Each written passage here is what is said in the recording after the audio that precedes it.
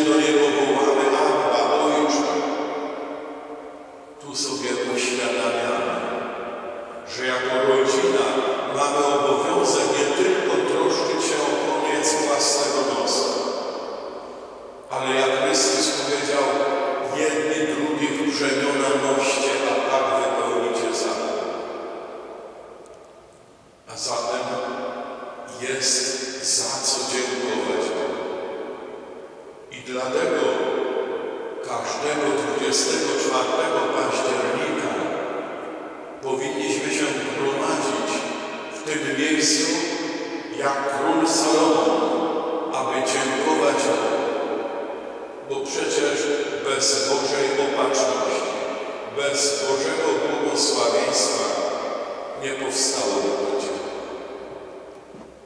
Ale również chcemy dziękować ludziom, tym wszystkim, którzy zaangażowali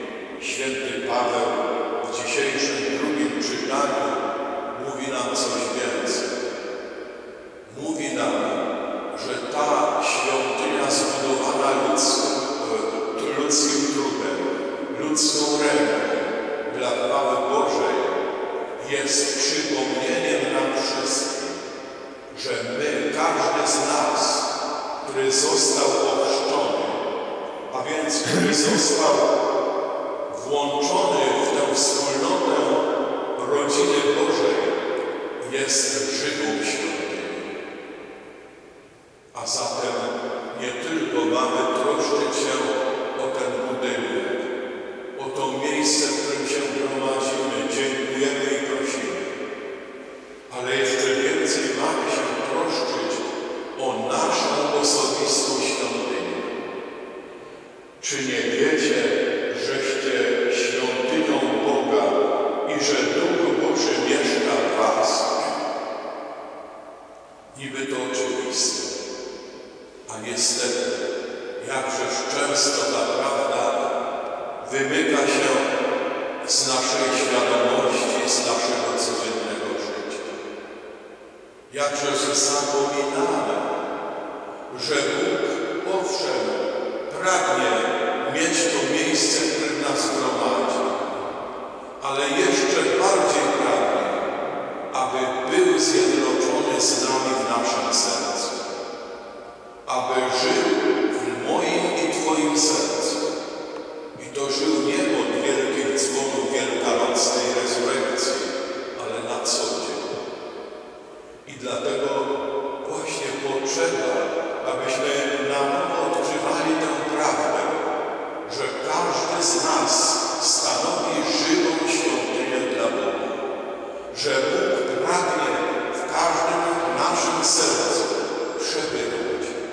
aby Go przemieniać, aby dawać Mu na nowo codziennie ożywcze siły, by wiernie Bogu służyć.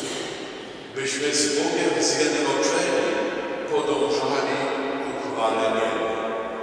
Bo tu, jak święty Paweł jesteśmy przechodniami. Nikt z nas nie buduje stałego domu na, na ziemi. Naszą ojczyzną jest niebo. Ale na to niebo my musimy z dnia na dzień zasługiwać. To niebo mamy zdobywać z dnia na dzień. Bo jeżeli będziemy próbowali od święta zdobywać, możemy się rozminąć. Możemy się zagubić i okaże się, że staniemy przed Bogiem z pustymi rękoma. Dlatego dziś, przeżywając uroczystość konsekracji, poświęcenia tego budynku, tego domu, w którym zamieszkał Bóg dla nas i z nami, dziękując Mu za to, prośmy, abyśmy pozostali wierni, aby ta świątynia nigdy nie świeciła pustkami. Mimo, że czasy są coraz trudniejsze, pamiętajmy, Pamiętajmy, że niezależnie od polityków takich czy innych, zdążamy w jednym celu. I nie zdążamy za politykami, ale zdążamy za Bożym Synem, który przyszedł na ziemię, aby mówić nam o Ojcu, aby nam wskazywać drogę do Ojca, aby nam przez życie sakramentalne pomagać w naszym codziennym życiu, byśmy byli coraz lepsi, doskonalsi dla siebie i mili dla Boga. I w ten sposób zasłużymy, zasługiwali na nagrodę życia wiecznego. Amen. Bóg zapłaci.